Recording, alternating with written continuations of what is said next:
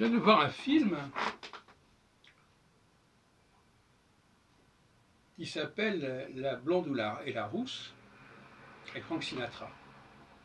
Est-ce que c'est le titre exact? Je ne sais plus. Il hésite entre Rita Hayworth et Kim Novak.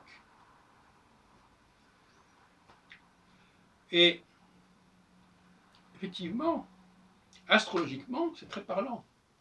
Parce qu'il y a des périodes où la question est de savoir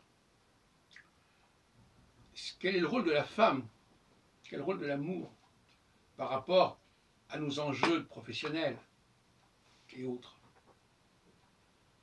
Certains moments où ces enjeux de carrière l'emportent, d'autres moments, on a tendance à les minimiser, à les relativiser et accorder la plus grande importance à la relation, à l'amour entre un homme et une femme.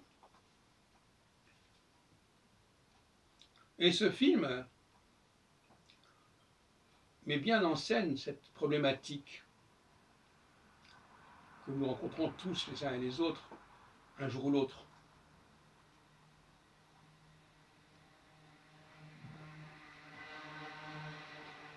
On peut avoir des regrets dans les deux cas. Le regret d'avoir sacrifié un amour à sa carrière, ou le regret d'avoir sacrifié sa carrière à un amour.